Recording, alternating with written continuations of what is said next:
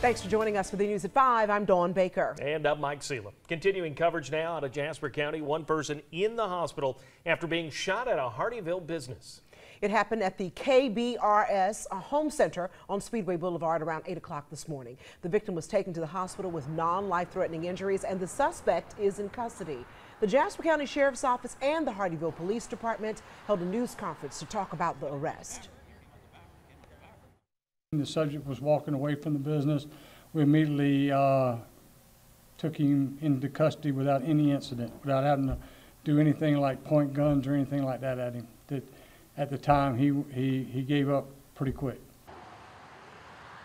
While the suspect is in custody, police say he won't be charged until the investigation is complete. Our Flynn Snyder has been at the scene all day talking with employees who say they were there when it happened. Flynn, what are they telling you? Well, Mike Dawn, good evening. One man I talked to said he thought he was going to die in this incident. It's much quieter here at KBRS, a stark difference from this morning when police flooded this area. Several of the doors on the factory of the warehouse here have signs that say that were posted saying that the uh, center is closed for today. They won't be accepting any deliveries or pickups for the day. Mike Dawn, the number we've been hearing a lot today is 14 minutes. That's how long investigators say it took between the time the shooting was reported and when a suspect was taken into custody. Despite the swift response, some people who were inside say it felt like an eternity as they waited for help to arrive. I spoke with one man who tells me he's a delivery driver and was doing a routine pickup here when the shots rang out. He said he was leaving the bathroom when gunfire erupted and quickly turned around, went back in and called the police.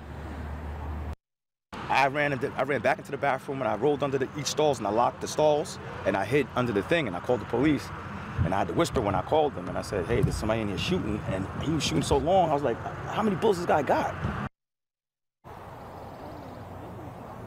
Yeah, that man tells me many of the employees here were in shock when I arrived on scene.